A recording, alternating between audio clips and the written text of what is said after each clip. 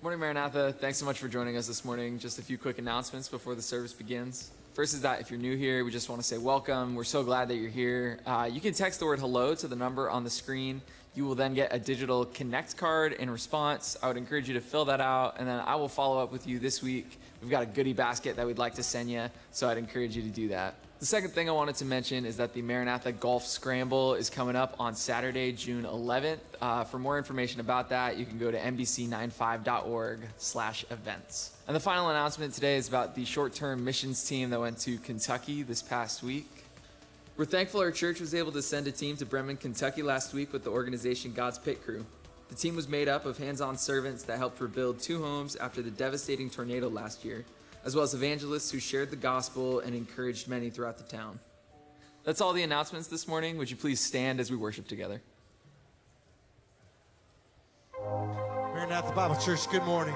Come on, let's lift our voices to this great King that we all serve.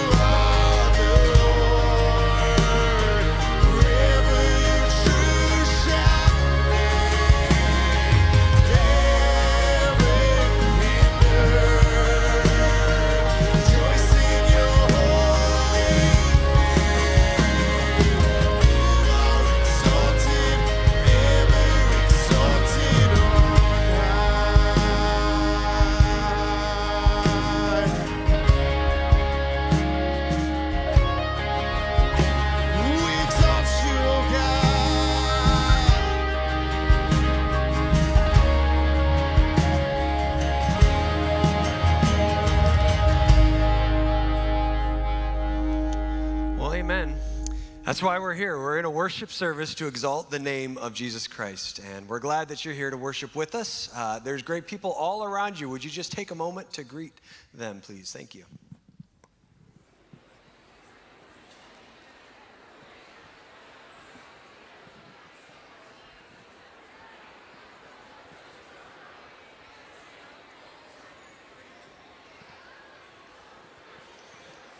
All right. And as you're finding your seats, you can go ahead and be seated. Thanks. You can keep fellowshipping, later. Uh, but we want to welcome some partners. We have some veteran partners here. Kevin and Allison Martin are here from Papua, Indonesia. Uh, and just a note, too, in a couple of weeks, we will be introducing some brand new partners. But over 20 years, we've said, right, that we've been partnering with Kevin and Allison. So thankful for uh, you guys. And it's uh, no small feat for them to be here. They're serving in Papua, Indonesia, which is literally the other side of the world. Uh, Pastor Butch has shared with our church just being able to visit you guys, landing on those grass runway strips, and it's just quite a feat for you to be here. So thank you for coming. Maybe you could just tell us a little bit about how your ministry is going and uh, how you guys are. Well, good morning, everyone. It is a privilege to be with you this morning. Thank you for allowing us to be here. Uh, yeah, as Nathan said, we've been partnering with Maranatha for over 20 years. And uh, we just want to thank you and appreciate so much your generosity in giving, uh, which you're going to talk about a little bit later in the service as well, but just supporting us in so many different ways, and we thank you. Um, we uh, just give us a quick update, would say that the main focus of our ministry over the past 20 years or so has been in a remote village uh, in the jungle area there. Uh, as you see on the slide, that's our home sweet home. And we had the privilege of raising our family there over the years. And uh, during that time, though, more importantly, um, we had the privilege of seeing the light of God's truth break through the darkness and the bondage that was the only life that the Tokani people knew.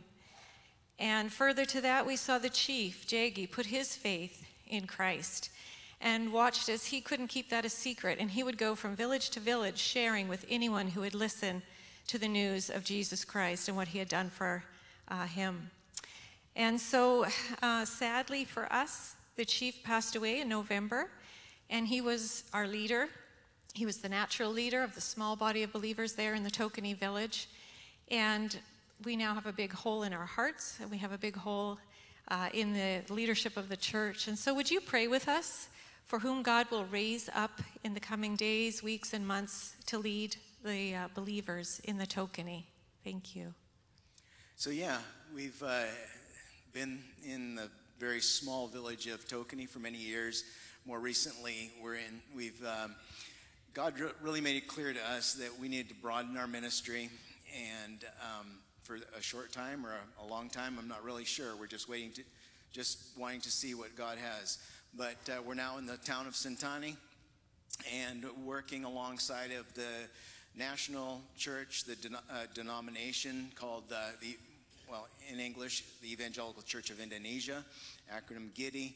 And uh, we've had a real privilege of working alongside of some very good people, very uh, good leaders, um, some young leaders, which I get to mentor, and some older leaders that I get to learn from. And it's uh, just been a real privilege there. We've also been able to teach in a in a uh, mission training center of, uh, of the churches there. And that also has been a real a blessing, seeing young men and women being trained to be sent out uh, to, to evangelize and be part of God's universal church and bringing people to Him. Uh, just, yeah, again, thank you so much for, the, uh, for being, uh, allowing us to, being, to be part of the global outreach from Maranatha. And it's, uh, yeah, it's a privilege. Thank you. Yeah, it's our pleasure, and we appreciate all that you guys do. Thanks for being longtime partners. We love it. So let's pray for them. Uh, Lord, we are uh, thankful and grateful to be able to be behind Kevin and Allison. And Lord, we thank you for even the pictures today and just to hear about what they're doing in their ministry and just for the fruit that's been there. And thanks for expanding their vision. Thank you that they can serve both uh, in a local context but also on a national scale. But Lord, we just want to think about this local group of believers uh, and for your next intended leader for them. Lord, would you raise up the right man to lead uh, that local church and be a great influence in that village? Please use uh, Kevin and Allison in their lives and uh, help them to continue to be salt and light in that area. And Lord, for the national church, thank you that they have the opportunity to train and invest in uh, what could spread all throughout that region. And Lord, we just ask that you would do your work. Nothing can stop you uh, from doing your, your work and your plan and growing your uh, church there. So please bless them in every way. Please provide for them. Praise in Jesus' name. Will you stand with us as we continue in our worship?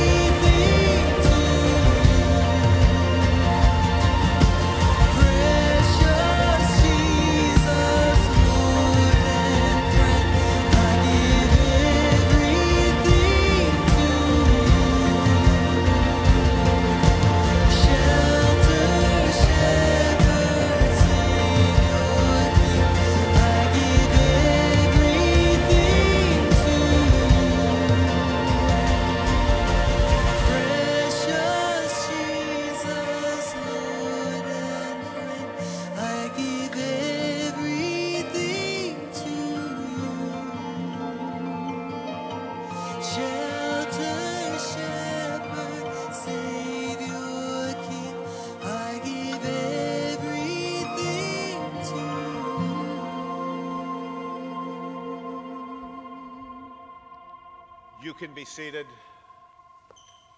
Let's go to the Lord in prayer. Father, we come to you this morning, and it's desire of our hearts to surrender everything to you, Lord.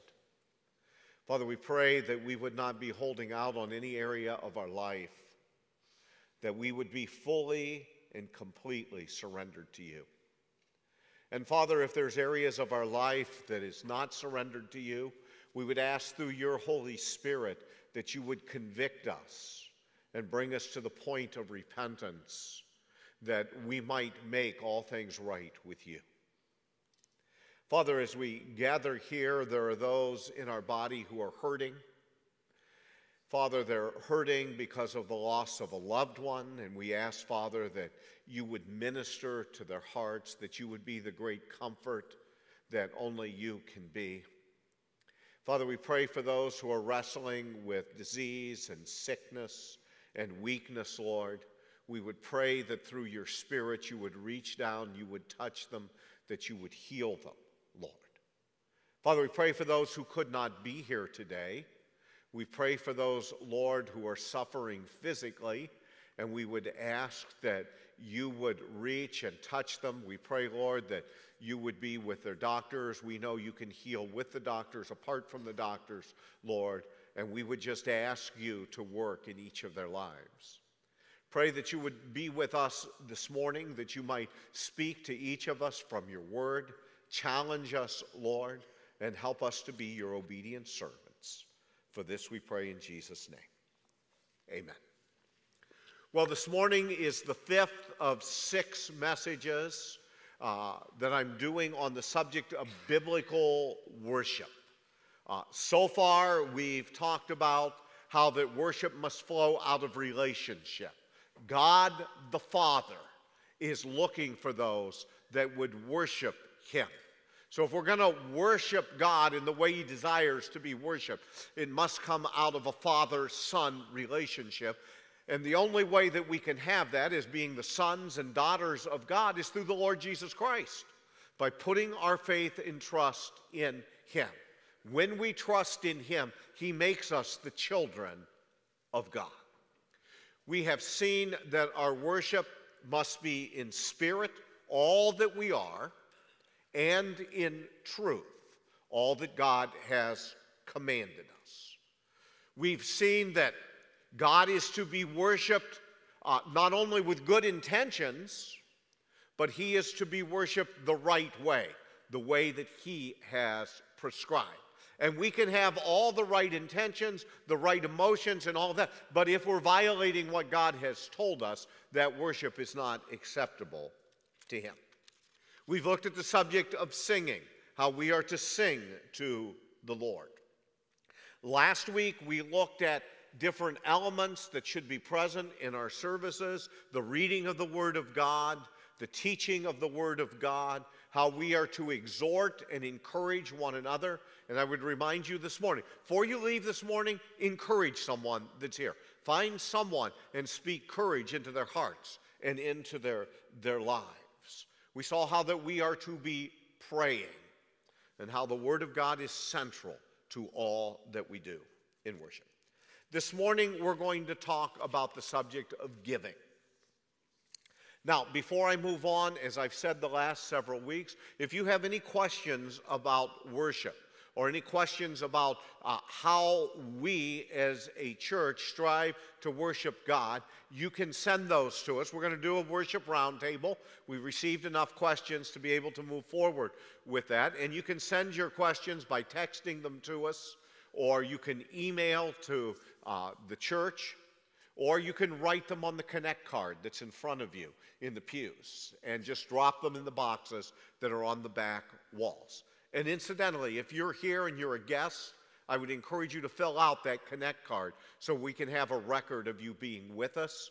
And if you're a part of our body and you have something you'd like for us to pray about, just write that on the card. Every Tuesday, our staff prays through every one of those requests. And also every week, our elders pray through every request that we receive.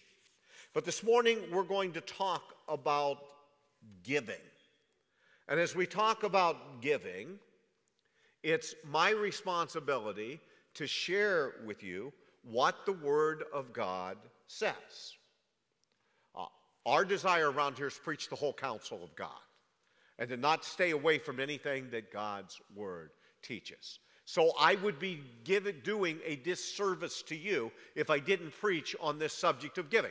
Now, I'm not speaking on giving this morning because the church is in dire straits and we're about to close the doors or we can't pay our bills.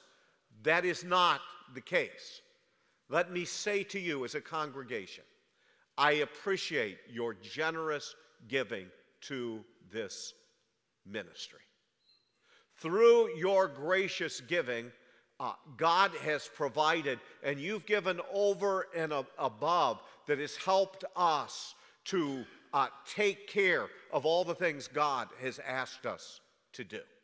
And out of the overflow of that, I'm pleased to let all of you know that just here, it's actually in process now. In the next month, you may know that we have a mortgage on this uh, building that was done through a bond program with people in the church. But through your gracious giving, we are paying off this year $1.2 million worth of bonds. That's just thanks for your, your faithful giving. And we're able to do that without affecting any of the ministries of the church or any of our support to our partners around the world. And it's my goal that when I retire, one of my goals was that we would have this building paid for. And we are on track that that could happen. And if it doesn't happen by the time I retire, it will be paid for like a year after I retire if we don't pay anything extra on the bonds. But thank you for your gracious giving. So I'm not coming at it this morning that as a church we are in dire straits. Also, this morning, my goal is not to make you feel guilty, unless you are guilty. This is not to put a guilt trip on anyone, but to merely say, This is what the Word of God says. And so that's what we're going to do this morning. So, for our passage this morning, most of it is going to come out of three passages from the book of First Corinthians. The Apostle Paul, in writing to the church at Corinth, in his first book, he addresses the issue of giving. And in his second letter to the church, he also addresses the issue of giving. In 1 Corinthians chapter 16, 1 Corinthians chapter 16, in verses 1 and 2, Paul writes this Now concerning the collection for the saints, as I directed the churches of Galatia, so you also are to do. On the first day of every week, each of you is to put something aside and store it up as he may prosper, so that there will be no collecting when I come. Then over in Second Corinthians, in chapter 8, in verses 1 to 5, there the Apostle Paul writes, and I'll give you a moment to get there. 2 Corinthians chapter 8, verses 1 to 5. We want you to know, brothers, about the grace of God that has been given among the churches of Macedonia. For in a severe test of affliction, their abundance of joy and their extreme poverty have overflowed in a wealth of generosity on their part. For they gave according to their means, as I can testify, and beyond their means, of their own accord begging us earnestly for the favor of taking part in the relief of the saints. And this, not as we expected, but they gave themselves first to the Lord, and then by the will of God to us. And then one chapter over in Second Corinthians chapter 9, in verses 6 to 11, the apostle says, Paul says this. The point is this Whoever sows sparingly will also reap sparingly, and whoever sows bountifully will also reap bountifully. Each one must give as he has decided in his heart, not reluctantly or under compulsion, for God loves a cheerful giver. And God is able to make all grace abound to you, so that having all sufficiency in all things at all times, you may abound in every good work. As it is written, He has distributed freely, He has given to the poor, His righteousness endures forever. He who supplies seed to the sower and bread for food will supply and multiply your seed for sowing and increase the harvest of your righteousness. You will be enriched in every way to be generous in every way, which through us will produce thanksgiving to God. May God bless the reading of his word here this morning. So, as we approach the subject of giving, I want to give you six biblical principles. Five of these six come from the book, uh, books of 1st and 2nd Corinthians. The first principle is an overarching principle that's taught throughout all the Bible. And principle number one is God owns everything.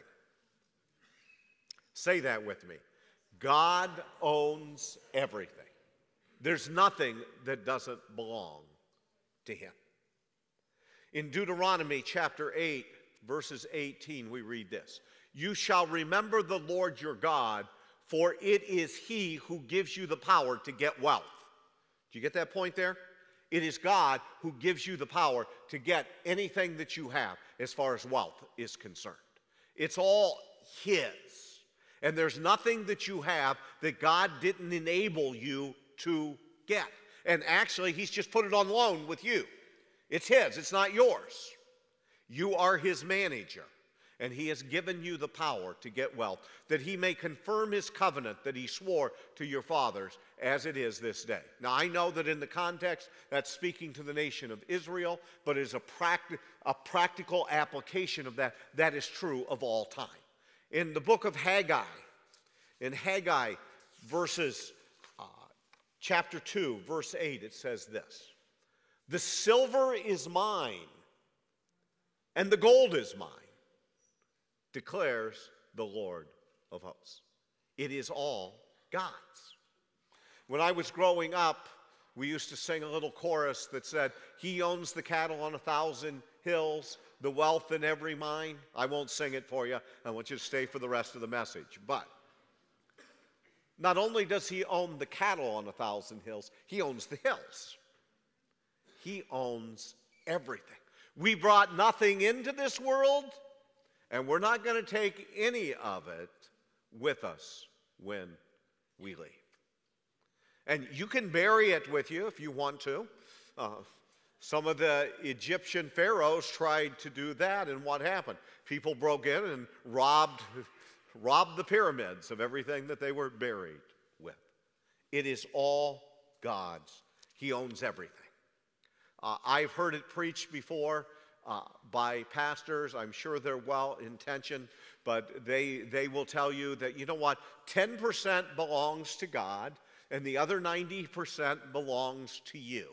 And as long as you give God his 10%, you can take the other 90% and use it however you want to. God doesn't care. That's not true.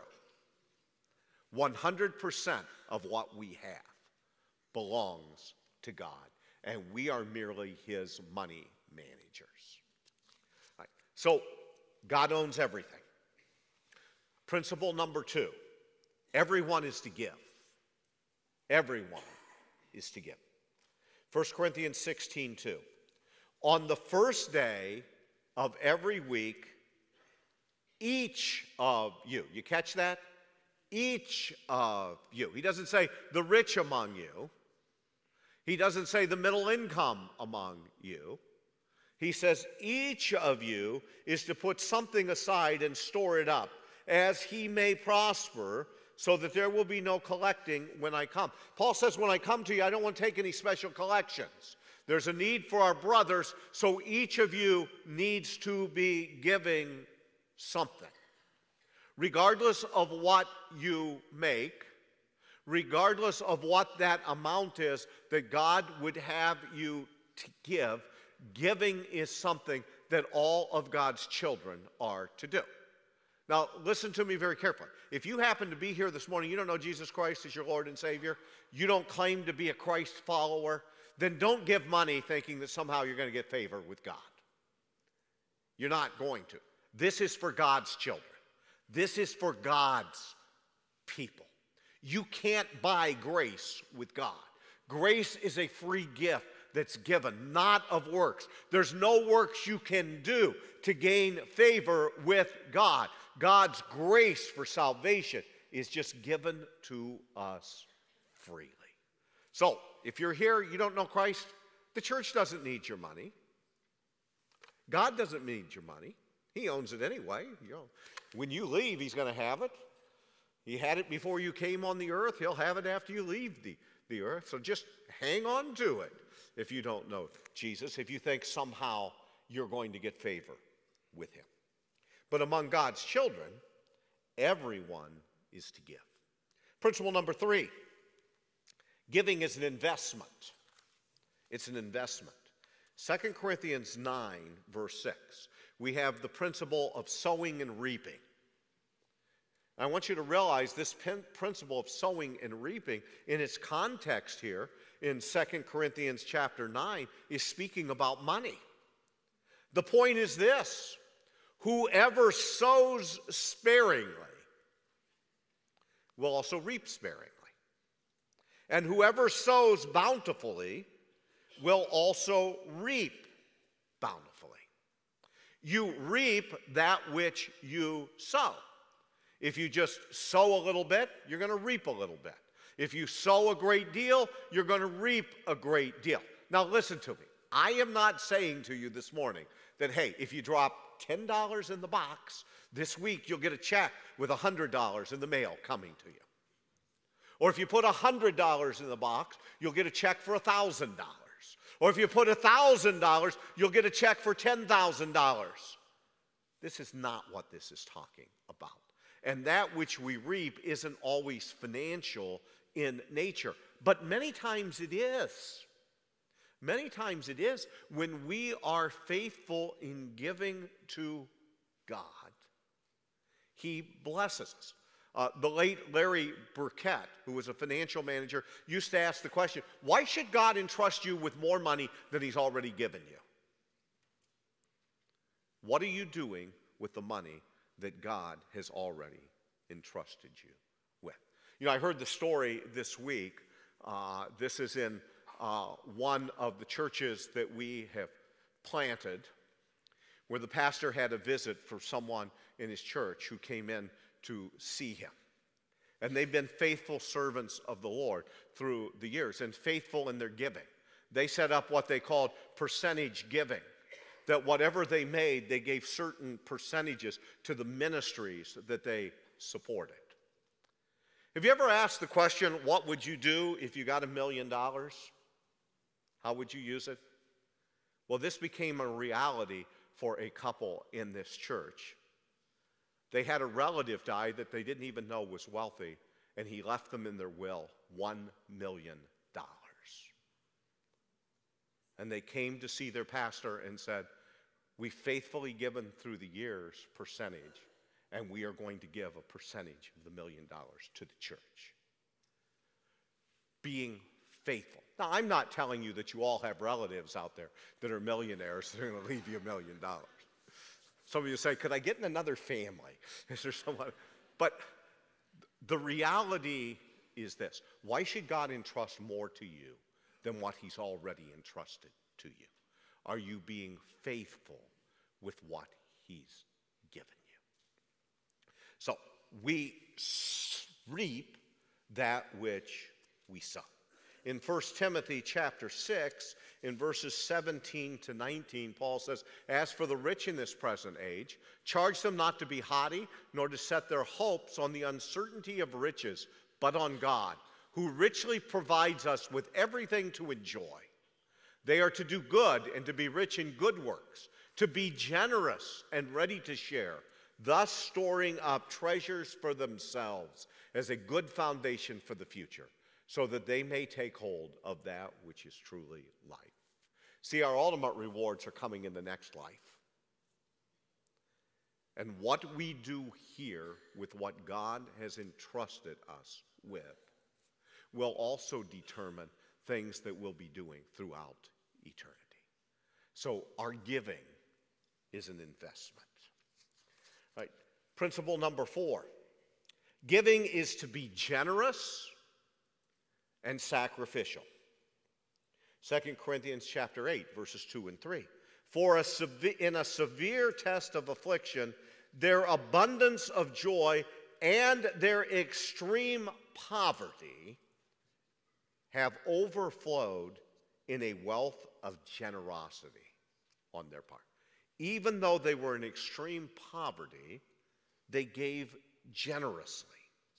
For they gave according to their means. They gave according to what God had entrusted to them, as I can testify, and beyond their means. When Paul saw what they gave, he was shocked because they not only gave according to their means, but they gave beyond their meetings of their own accord. When we give to God, we should be generous in what we are. You know, if you are a miser, you didn't get that from God. Your heavenly Father is generous, and we are to be generous. And when we give, it should cost us something. There should be a sacrifice involved. King David once said he could not offer to God that which cost him nothing. It's easy to give something that costs you nothing, right? I've told this story before, but uh, some of you may not have heard it, and most of you like the story anyway, because it makes me look pretty bad. and that's one night Barb and I are out having dinner, and the waitress comes to the table and says, Oh, I really like your earrings. And I said to Barb, I got to give her the earrings. But she said, These are unique, and I really like them. I said, Oh, don't worry about it. I'll get you another pair just like them. So she gave them away. Easy for me to tell her to give them away, right? You know, I searched for over a year for a pair of earrings like that. Could never find them. To this day, I've never found anything like those earrings. Neither is Barb. I would like to tell you she gave that away and it cost me nothing, but I'm going to tell you in the long run, it did cost me.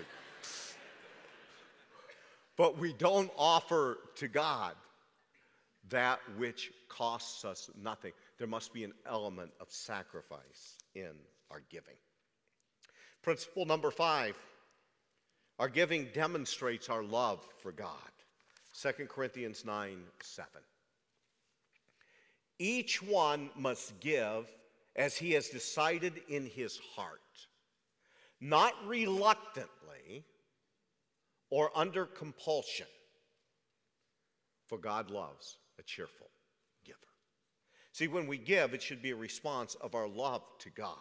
We're not giving reluctantly. I mean, if you give but you really don't want to, then just keep it. God doesn't need it. We're not to give reluctantly. We're not to give because someone is forcing us to give but we are to be cheerful givers. That word cheerful means hilarious. We should give with a smile on our face. We could even laugh a little bit when we give. Not laughing at how small our gift is, but laugh because we have the opportunity to give to our God and for His work. It demonstrates our love for God. Principle number six is giving is to be planned. It's to be planned. 1 Corinthians 16 2. On the first day of every week. All right, so our giving is to be regularly. We are to plan it. Each of you is to put something aside and store it up as he may prosper, so that there will be no collecting when I come. The first day of every week. There is a plan to it to be giving to God. And you give as God has prospered you. It's, It's important that we give to God and we give to God first, not what's left over. In the Old Testament, we have the principle of the first fruits, the picture of it, that the Israelites brought to God the first fruits, trusting God to provide their fruits throughout the rest of the season. We bring to God our best, not our leftovers. We don't wait to see how, after we've paid all the bills and everything, what do I got left in the checkbook? This is how much I can give to God. We plan to give to Him first, trusting Him as a step of faith that He will provide for us and meet all of our.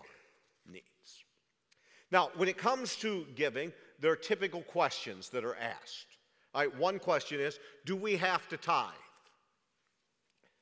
The word tithe means 10%. In the Old Testament, underneath the law, it was required for the Israelites. The principle of tithing precedes even the law. So we see Abraham paid a tithe to Melchizedek. So we have a principle here of giving of 10%. The New Testament teaches grace giving. We give as God has prospered us. We are not under the law required to give 10%, but grace giving also is not an excuse not to give 10%.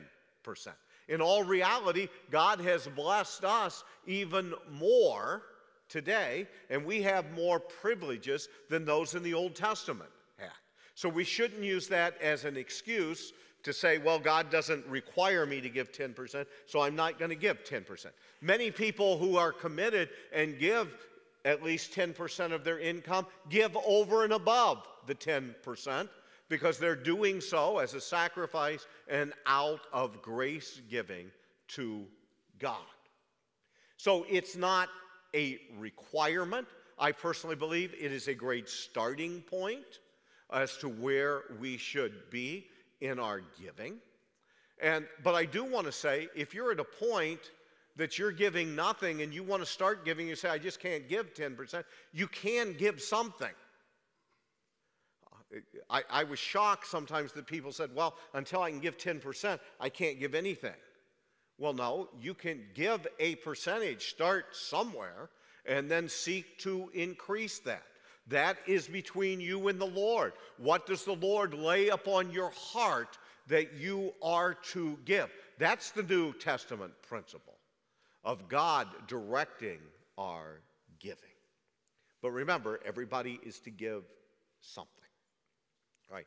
How much are we to give? Well, it's simply what God has put on your heart. Uh, you don't have to tithe. But remember, it's the principle of sowing and reaping. How much do you want to reap? Be faithful in giving to God. Where should we give our money? Some pastors will preach a principle known as storehouse tithing. Uh, from the Old Testament, they say everything should be given through the local church. I'm not convinced that the New Testament teaches that. I am convinced that the local church is God's means of carrying out his work. And so I believe, and my personal commitment is myself, I give most of my giving through the local church. I do that, number one, because there's accountability for where the money goes.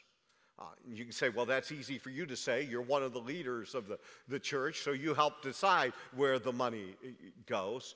But I can tell you that as a group of elders in our church, we are very serious about how we use the offerings that come in because we realize one day we will give an account before God. Now, there are many worthy, good Christian organizations out there that you can give to as well. And I wouldn't tell you not to give to them. I would just make sure that they are accountable and that you check them out to make sure that they are using your money the way that they tell you they are using your uh, money. But for me personally, my commitment is to the local church, and I do most of my giving through it. But as I said, there are other worthy organizations that operate throughout the world, that operate here locally, that are worthy of your gifts to them. Right? How can we give? Well, there's lots of ways you can give here at Maranatha. It's your act of worship. First of all, we still take cash and checks.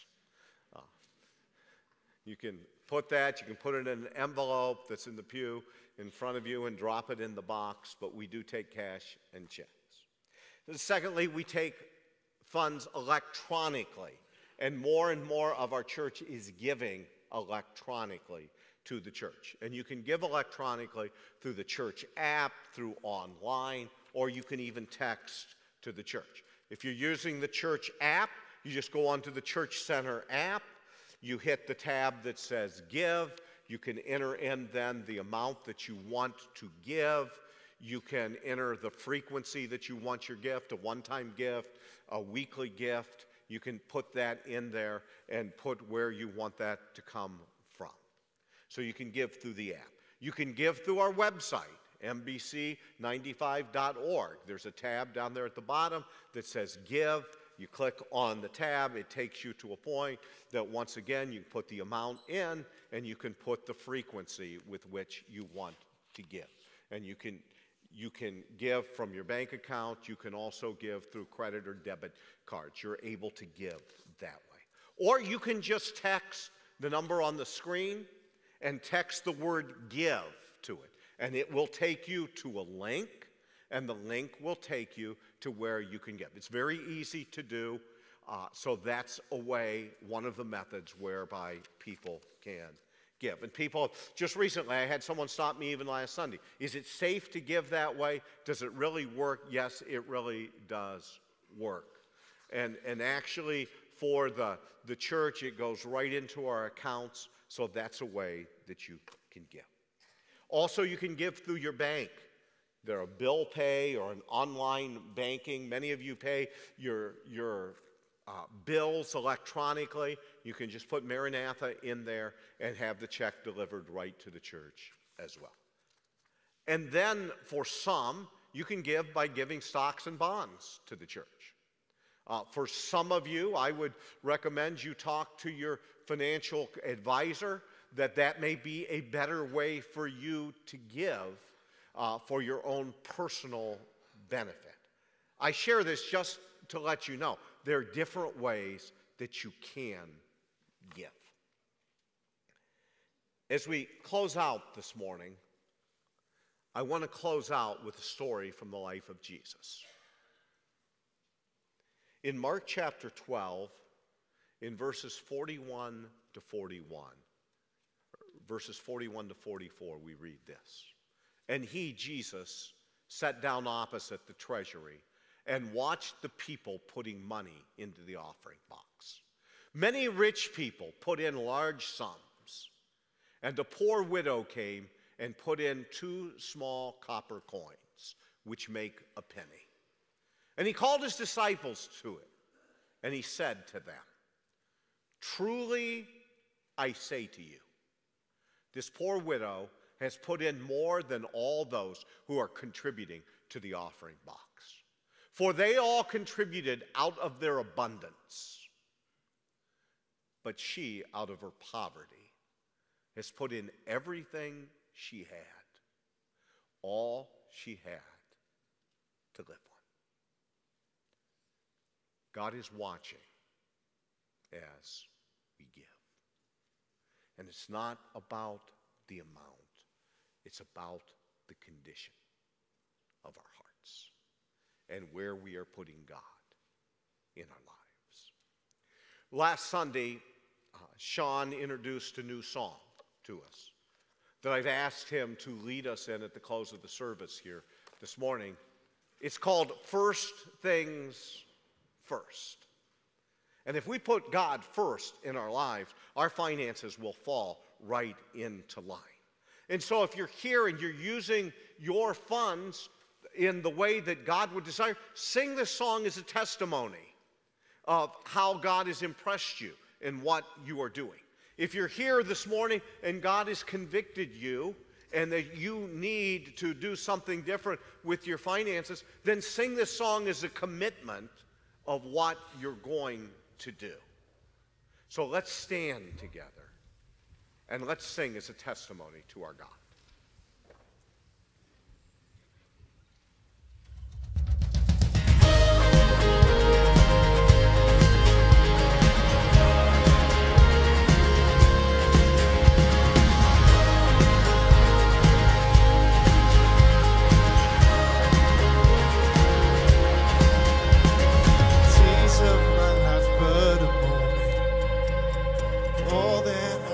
treasure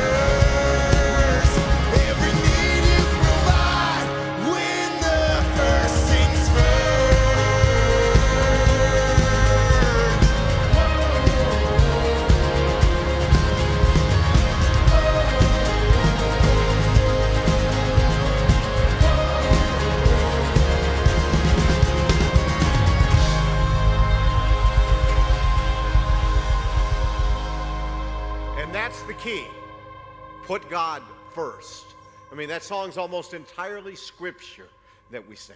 When you put God first and seek Him, He will take care of everything else. Our God can be trusted. Good morning and Maranatha.